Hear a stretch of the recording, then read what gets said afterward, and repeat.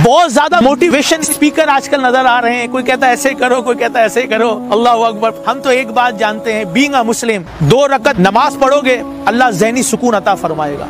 अल्लाह के आगे सजदा करोगे, अल्लाह ताला ज़िंदगी में बरकत देगा। अपनी ज़िंदगी में नमाज़ को आप दाखिल कर लें, तमाम फिक्रों से नमाज़ जो है वो आपको नजात दिला देगी। बात बड़ी समझ की है, नमाज़ की पाबंदी होनी चाहिए।